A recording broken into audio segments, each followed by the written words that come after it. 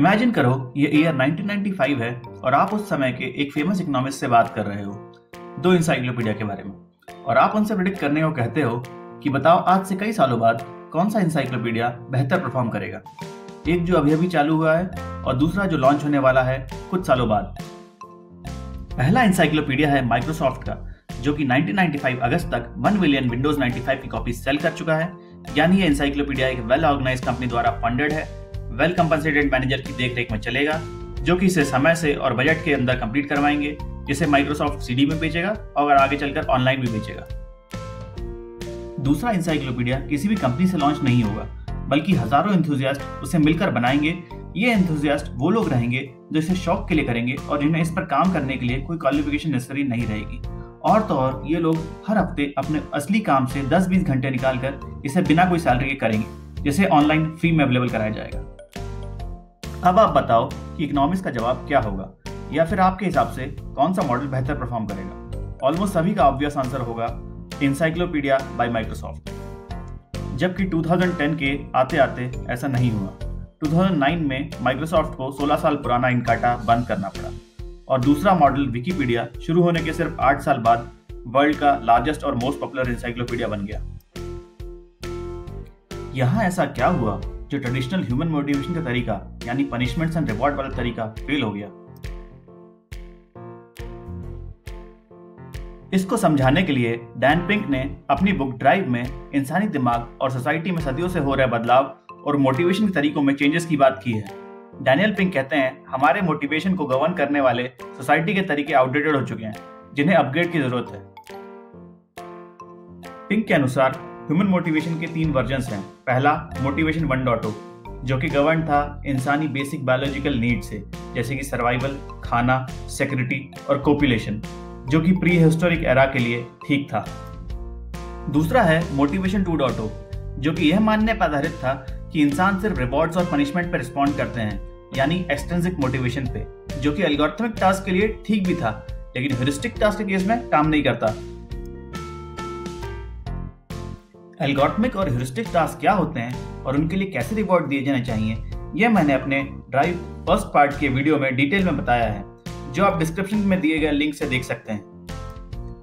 लेकिन पिंक कहते हैं, इन दोनों ही मोटिवेशन के वर्जन से हमें अपग्रेड की ज़रूरत है, यानी मोटिवेशन थ्री डॉट ओ की, जो ड्रिवन है इंट्रेंसिक मोटिवेशन से, जो हमें पुश करता है कुछ नया लर्न करने के लिए क्रिएट करने के लिए, दुनिया को एक बेटर प्लेस बनाने के लिए। और इस मोटिवेशन के लिए तीन इंपॉर्टेंट एलिमेंट्स हैं ऑटोनॉमी मास्टरी और पर्पस ऑटोनॉमी एक स्ट्रॉन्ग डिज़ायर है खुद की ज़िंदगी अपने चॉइसेस के हिसाब से जीने की। इसमें चार इंपॉर्टेंट एलिमेंट्स हैं। नंबर वन टास्क आप क्या करना चाहते हैं? नंबर टू टाइम कब करना चाहते हैं? नंबर थ्री टीम किसके साथ करना चाहते हैं?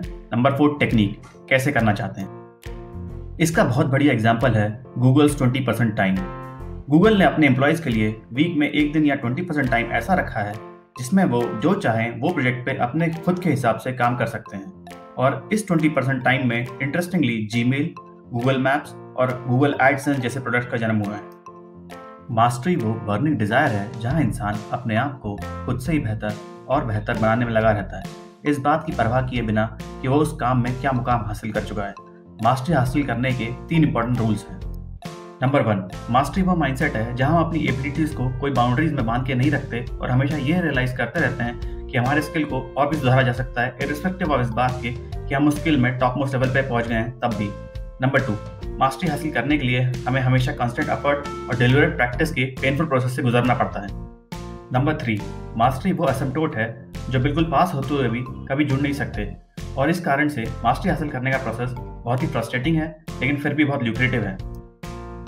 मास्टरी के सबसे बढ़िया एग्ज़ाम्पल हैं सचिन तेंदुलकर। सचिन जब सिर्फ़ 14 ईयर्स के थे, उन्होंने 55 मैचेस खेले थे 55 डेज़ में, बिना किसी ब्रेक के।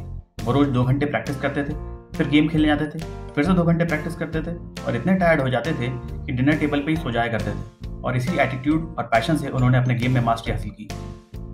पर्पस पर्पस वो मज़बूत इरादा है जो हमें, हमसे बढ़कर किसी और के लिए कुछ करने की प्रेरणा देता है। पर्पस वो मिशन स्टेटमेंट है जिसमें हम अपने सेल्फ इंटरेस्ट के बारे में ना सोचकर एक ग्रेटर कॉज के लिए काम करते हैं, जो इस दुनिया को प्रोग्रेसिव पाथ पे ले जाता है। और अपने पर्पज में कायम रहने के लिए तीन चीज़ें होना बहुत इंपॉर्टेंट है। नंबर वन हमें प्रॉफिट मैक्सिमाइजेशन को सिर्फ़ एक गाइडिंग प्रिंसिपल की तरह यूज़ करते हुए मेन फोकस हमेशा अपने पर्पस पर रखना चाहिए। नंबर टू हमें हाउ से ज़्यादा अपने वाई पे फोकस रखना चाहिए। नंबर थ्री पर्पस हमेशा इंट्रेंसिक होना चाहिए, ना कि किसी के द्वारा डायरेक्टेड इलॉन मस्क इस बात का एक बेहतरीन एग्ज़ाम्पल है। जिन्होंने पेपाल से मिले 165 मिलियन डॉलर्स दो कंपनीज़ में लगा दिए टेस्ला और स्पेस और खुद अपने दोस्तों के घर जाके सोते थे, क्योंकि उनके पास रेंट के लिए भी पैसे नहीं बचे थे। सिर्फ़ अपने लाइफ के सोल पर्पस के लिए, जो है सस्टेनेबल एंड क्लीन एनर्जी और एक alternate exciting future for human race Albert Einstein ने कहा है we cannot solve our problems with the same thinking we used when we created them इसलिए भी आज इन मोटिवेशन के तरीकों की बहुत ज़रूरत है। Thanks for watching dear friends अगर ये वीडियो आपको पसंद आया तो लाइक करें कमेंट करें शेयर करें और ज़रूर सब्सक्राइब करें।